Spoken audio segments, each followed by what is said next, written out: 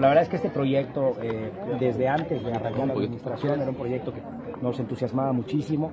Eh, la primera ocasión que había tenido eh, como alcalde, este, había tenido precisamente una de las de, los retos y de las metas principales era lograr vincular el trabajo que se hacía en las comisarías con los productores y también con pues todo lo que tiene que ver con la comercialización y sobre todo el consumo en restaurantes, en hoteles, en diferentes industrias que tienen que ver con la gastronomía y con estos productos.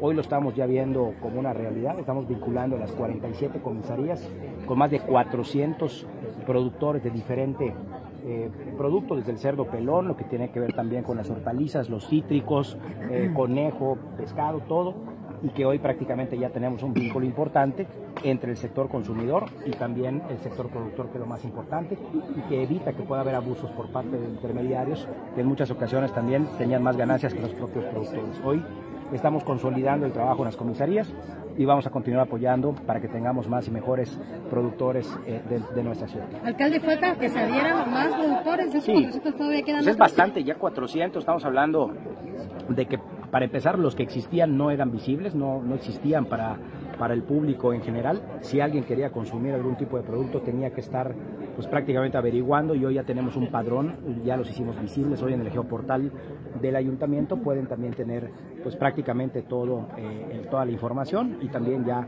esperamos que se puedan vincular cada vez más. ¿Cuál es su opinión respecto a Joaquín Díaz Mena, delegado federal?